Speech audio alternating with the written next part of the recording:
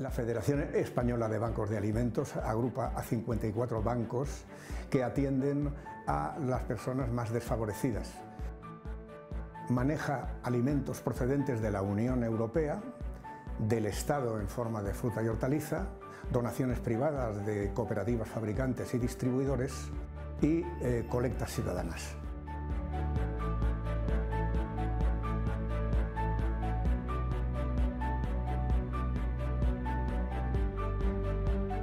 Merece destacarse que el 50% de los alimentos entregados proceden de excedentes, con lo que se cumple además otra de, las, de los grandes principios de los bancos, que es la lucha contra el despilfarro. Gracias al apoyo ciudadano que siempre hemos tenido y que confiamos en seguir teniendo. Ello será una pieza fundamental en la atención de las personas que más lo necesitan.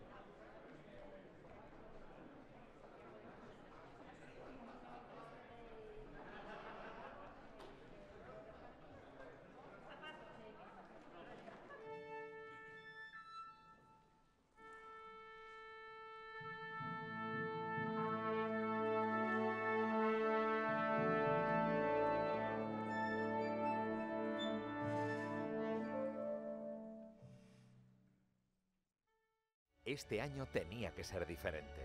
La pandemia nos lo puso difícil, pero una vez más quedó claro que nos gusta ayudar. Más de 1.800.000 personas se verán beneficiadas por tu ayuda. Una sola palabra expresa todo lo que sentimos. Gracias. Gracias a todos los que donan cada año, a quienes lo han hecho por primera vez, a todos los que la organizan con nosotros, a todos los que hacen posible que siempre sea un éxito. Volveremos.